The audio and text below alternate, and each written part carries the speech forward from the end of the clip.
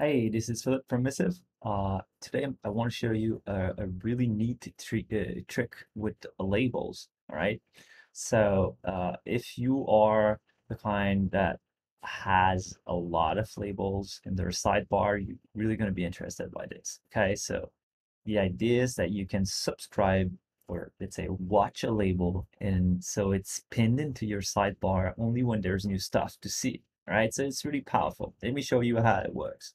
So first we're going to create a label in our organization. So let's call it water cooler. Add a nice color and then share with everyone. Okay, so now the label is created. Everyone has access to it. Now, this is a personal setting, all right? So if you want to activate uh, this, you first need to open the label, then click the options, and then watch it. That's it. Now simply close it. Well, let's say hide it because you're watching it now. Now means that because you watch it anytime someone posts a new conversation or new comments or new emails in a conversation, this label will pop up in your sidebar, right? So let me show you.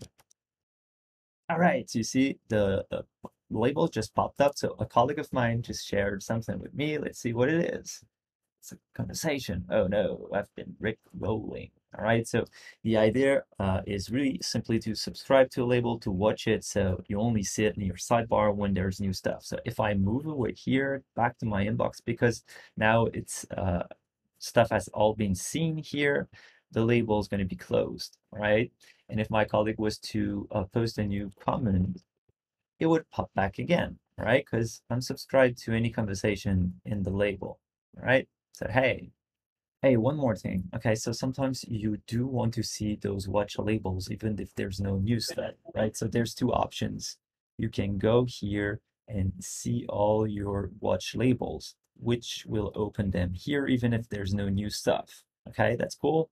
And there's a short shortcut for this. So you could uh, simply option click on a Mac or alt click on a PC. All right, so here I can toggle this quickly.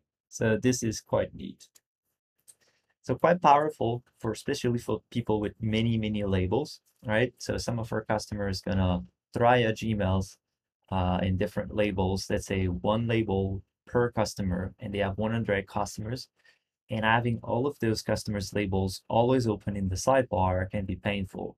So this is a nice way to reduce the noise, having a clean interface by simply go and watching all of those labels individually.